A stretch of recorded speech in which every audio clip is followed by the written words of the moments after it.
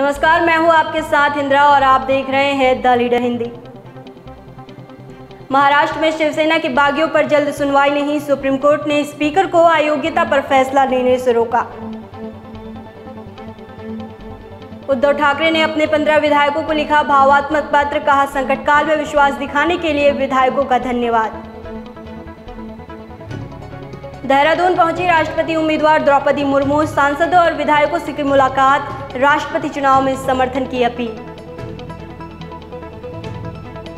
चेन्नई में जयललिता की पार्टी में वर्चस्व की जंग हारे, पनीर सेल्वम हंगामे के बीच पलानी स्वामी बने अंतरिम महासचिव।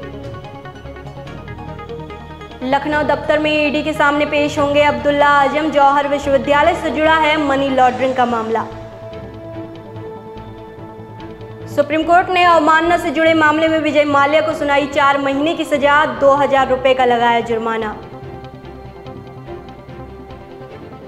छत्तीसगढ़ में कोयला व्यवसायी सूर्यकांत तिवारी ने किया बड़ा खुलासा, आयकर विभाग के अधिकारियों पर सत्ता परिवर्तन के लिए दबाव बनाने का आरोप।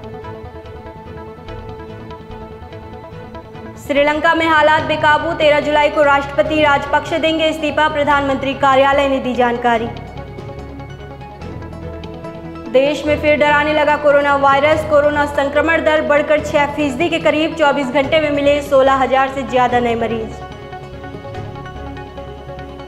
आज फिर से शुरू हुई अमरनाथ यात्रा। 4000 से ज़्यादा तीर्थयात्रियों का बारहवा जत्था जम्मू से रवाना।